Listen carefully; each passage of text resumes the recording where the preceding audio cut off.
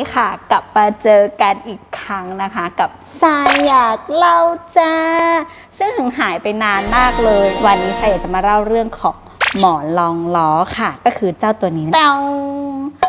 นี่อันนี้ก็คือสายเรียกว่าหมอนรองล้อนะ เจ้าชีตตัวนี้นะคะสรีระเหมือนเจ้าชีตนะคะ ขออนุญาตอย่างนี้นะคะ นี่ อันนี้คือตัวอย่างหมอนรองล้อที่ค่อนข้างจะเรียกว่าดีเลยแหละนะคะ ก็หมอนรองล้อเวลาเราเลือกใช้นะคะสำหรับพี่ๆที่เป็น ผู้ขับรถนะหมอนรองล้อที่เราใช้ที่เป็นเจ้าไม้อย่างภาพตัวอย่างนี้นะคะ ไม่ค่อยจะเหมาะสมนะคะ คือการที่จะใช้หมอนรองล้อที่ดีค่ะจะต้องมีหน้าสัมผัสที่กว้างตามขนาดของล้อนะคะสองก็คือมีน้ำหนักที่เหมาะสมนะคะ คืออย่างเงี้ยค่ะคือเวลาที่เราใช้อะค่ะ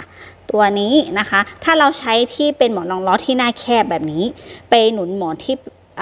หมอนหนุนล้อรถนะคะ ที่มีขนาดใหญ่ เพื่อนๆคิดว่ามันจะรับน้ำหนักได้ไหมอะนะคะ เราก็ต้องใช้ที่มีหน้าลักษณะที่หน้ากว้าง ที่เหมาะสมกับหน้า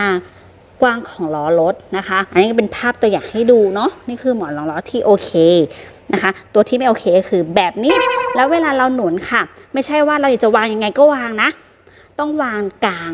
นะคะ เซนเตอร์ของล้อนะคะ ไม่ใช่แบบว่าวางปริมวางนอนวางอะไรเงี้ยค่ะ วางไม่ดีก็ไม่มีประโยชน์นะคะ วันนี้ขอเล่าเพียงเท่านี้ค่ะ สวัสดีค่ะ